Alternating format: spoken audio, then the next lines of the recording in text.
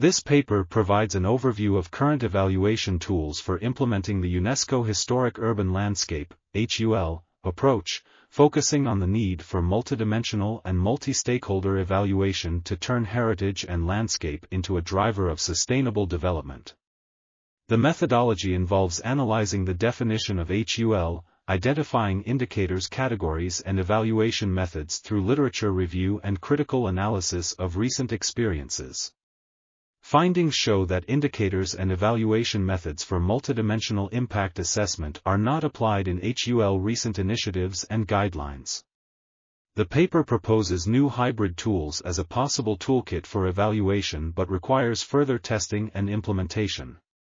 This paper contributes to advancing the existing knowledge on evaluation tools to make operational the HUL approach. This article was authored by Antonia Gravagnuolo and Luigi Fusco Girard. We are RTCL.TV, links in the description below.